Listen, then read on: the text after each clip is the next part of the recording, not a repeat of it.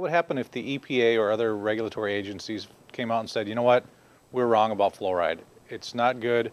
We shouldn't have it in these products. What would the trickle down effect in terms of industry and business and the dental association be? Well, they would join all the rest of the countries in the world. There's only 11 countries left that actively add fluoride to their water supply. Lots of countries have natural fluoride that's crippling people China, Thailand, uh, Ethiopia. But actually adding it to the water supply, they're down to 11 now. So what they would do is they would join the rest of the scientific community, which might be a new feeling for them, that if you could not dispose of the silico fluoride waste, that you would have to dispose of it in a Class A landfill, where you have a lined landfill and you you slake it with uh, uh, calcium of some sort, lime, or mm-hmm. and to inactivate it so it doesn't eat the planet, and that's basically an added cost of making phosphate fertilizer. Well, if the phosphate fertilizer costs more, then agribiz might quit using it. It's making them a lot of money selling water to you for food, but then you would have tomatoes that taste like they do out of your own garden because they would not be blown up with phosphate fertilizers to make it mm-hmm. big. You know, who wants a big tomato that tastes like nothing? Mm-hmm. What about the dental association? For all the years that they've been putting, you know, fluoride treatments on our teeth, I mean, would they face lawsuits? I would imagine too by, you know, people that were potentially harmed by that.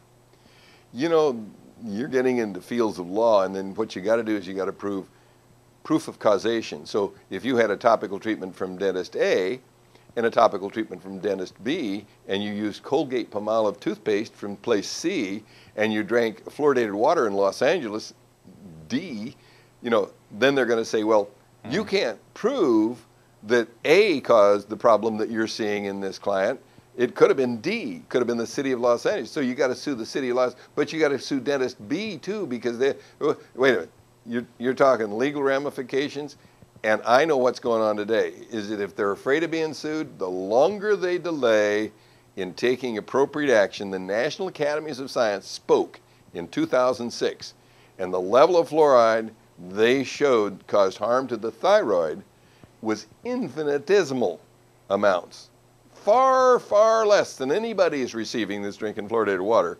So it's time to stop dosing people with a very powerful poison. Mm-hmm. And that the longer they delay, the more the liability is. So if they're concerned, fine. But otherwise, it's another hundred years of legal action, and the attorneys will wonderful. They'll have plenty of depositions, I'm sure, to go. Mm-hmm. But I would like them to stop it now and sort the uh, the rest out in a court of law.